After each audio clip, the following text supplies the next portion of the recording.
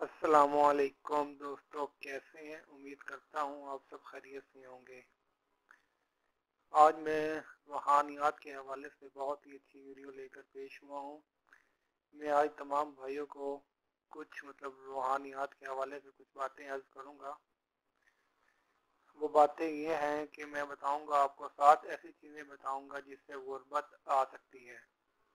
ٹھیک ہے، کس وجہ سے غربت آتی ہے؟ ایسی سات چیزیں میں آپ کو بتاؤں گا۔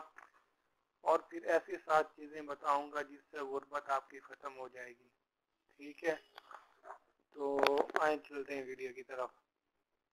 تو فرسٹ آف آل میں ایسی سات چیزیں بتاؤں گا جس کی وجہ سے غربت آتی ہے۔ غربت آنے کی سب سے بڑی وجہ یہ ہے پہلی جو سب سے بڑی وجہ ہے، جلدی جلدی نماز پڑھنے سے۔ مطلب آپ نے دیکھا ہوگا بعض اوقات لوگ جلدی جلدی نماز پڑھتے ہیں کہ نماز میں ہمارا ٹائم ضائع ہو رہا ہے۔ ہم مطلب جلدی جلدی نماز پڑھیں اور دنیا کے کام کریں جا کر۔ تو میرے بھائی جلدی جلدی نماز نہیں پڑھنی چاہیے۔ آرام سے سکون کے ساتھ اللہ کو یاد کر کے نماز پڑھنی چاہیے، ٹھیک ہے؟ تو نمبر دو، کھڑے ہو کر پیشاب کرنے سے۔ پیشاب کبھی بھی کھڑے ہو کر نہیں کرنا چاہیے۔ تو ٹھیک ہے؟ تو نمبر تین پیشاب کرنے کی جگہ پر وضو کرنے سے جہاں پہ ہم پیشاب کرتے ہیں، وہاں پہ اگر آپ وضو کرتے ہیں تو اس سے بھی غربت آتی ہے۔ تو کبھی بھی ایسا نہ کریں جہاں پہ مطلب آپ پیشاب کر رہے ہیں، وہیں پہ وضو کریں۔ آج کل فیشن ہے مطلب دیکھا گیا، واش روم اور ٹائلٹ مطلب ایک ہی مطلب جگہ پہ بنا دیے گئے یہ غلط ہے۔ اسلام میں اس بات کی اجازت نہیں دیتا۔ ٹائلٹ علیحدہ ہونا چاہیے، واش روم علیحدہ ہونا چاہیے۔ ٹھیک ہے مطلب پیشاب کرنے کی جگہ علیحدہ ہونا چاہیے، ہونی چاہیے اور نہانے دھونے کی جگہ علیحدہ ہونی چاہیے۔ تو ہمیشہ وضو مطلب وضو جگہ پہ نہ کریں جہاں پہ آپ آپ لوگ پیشاب کرتے ہیں۔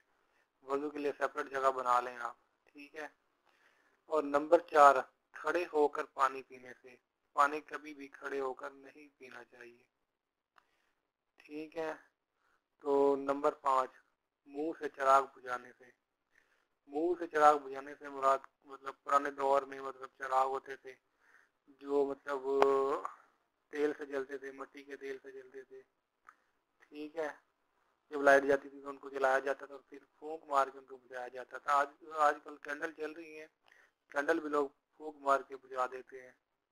تو میرے بھائیو، پھونک مار کر آگ کو نہیں بجھانا چاہیے، اس سے بھی غربت آتی ہے۔ ٹھیک ہے۔ ماچس کی تیلی جب آپ جلاتے ہیں تو اس کو پھونک مار کر نہیں بجھانا چاہیے۔ ہاتھ، ہاتھوں سے بجھا دیں یا ہاتھ کو تھوڑا سا لہرا کے مطلب ویسے بجھا دیں، ٹھیک ہے؟ کوشش کریں گے منہ منہ سے کوئی بھی آگ نہ بجھائی جائے، ٹھیک ہے؟ تو نمبر چھ۔ اپنے ناخون جو ہے دانتوں کے ساتھ کاٹنے سے۔ بعض اوقات آپ نے دیکھا کچھ لوگوں کو عادت ہوتی ہے وہ انگلی منہ میں ڈال کے ناخون کو چبا رہے ہوتے ہیں۔ تو اس سے بھی غربت آتی ہے۔ نمبر سات، آستین سے منہ صاف کرنے سے۔ آستین سے مراد مطلب یہ بازو کے مطلب یہ ہوتے ہیں جو۔ ٹھیک ہے نا، بازو کے ساتھ مطلب منہ صاف کرنے سے منہ دھوتے ہیں بعض بات تو اس سے صاف کر لیتے ہیں۔ یہ پلہ وغیرہ ہوتا ہے، اس سے صاف کر لیتے ہیں۔ ٹھیک ہے، تو یہ ایسا نہیں کرنا چاہیے۔ ٹھیک ہے، یہ سات ایسی چیزیں تھیں جن کی وجہ سے غربت آ سکتی ہے۔ ٹھیک ہے۔ تو اب میں آپ بھائیوں کو سات ایسی چیزیں بتاؤں گا جس کی وجہ سے غربت ختم ہو سکتی ہے، خوشحالی آ سکتی ہے۔ ٹھیک ہے۔ تو آئیں چلتے ہیں ان سات چیزوں کی طرف جن کے کرنے سے خوشحالی آ سکتی ہے۔ فرسٹ آف آل یہ سب سے بڑی مطلب وجہ بن سکتی ہے خوشحالی کی، وہ قرآن پاک کی تلاوت ہے۔ قرآن پاک کی تلاوت زیادہ سے زیادہ کریں، ٹھیک ہے۔ نمبر دو، پانچوں وقت کی نماز پڑھنے سے خوشحالی آ سکتی ہے۔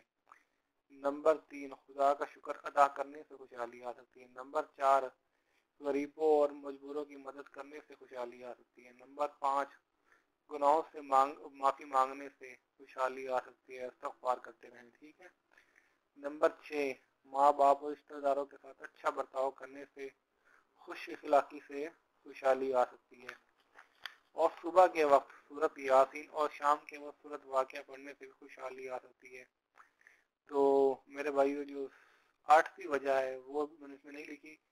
وہ یہ ہے کہ آپ صدقہ خیرات کرتے رہیں۔ اس سے بھی مطلب بلائیں ٹل جاتی ہیں اور خوشحالی آ سکتی ہے، ٹھیک تو میرے بھائی وہ خاص خیال رکھیں آپ۔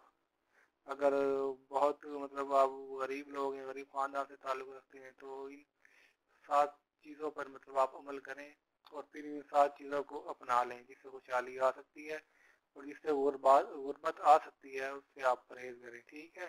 تو آپ کو میجر مقصد یہی تھا بتانے کا، کچھ بھائی مجھے یہ کہہ رہے تھے کہ ہم وظیفہ کرتے ہیں، آپ کا وظیفہ ہم نے کیا، ہمیں کچھ مطلب کچھ فرق محسوس نہیں ہوا مطلب دو لتاتی نظر نہیں آ رہی، تو ان کو ان کے لیے میں نے یہ ویڈیو بنائی ہے، خاص طور پہ وہ ان سات چیزوں کا اہتمام کریں جس سے خوشحالی آ سکتی ہے اور ان سات چیزوں سے بچیں۔ جس سے غربت آ سکتی ہے۔ تو یہ ویڈیو بنانے کا میرا مقصد یہی تھا کہ آپ بھائیوں کو میں بتا دوں کہ اس وجہ سے بھی مطلب وہ غربت آتی ہے اور غربت کو کیسے ختم کیا جا سکتا ہے۔ اور جو بھائی وظیفہ کر رہے ہیں وہ وظیفہ کرتے رہیں۔ ٹھیک ہے جی۔ تو میرا چینل سبسکرائب کر لیں۔ مجھے دعاؤں میں یاد رکھیں اور میری ویڈیو شیئر لازمی کریں۔ اوکے، اللہ حافظ۔ تھینک یو السلام۔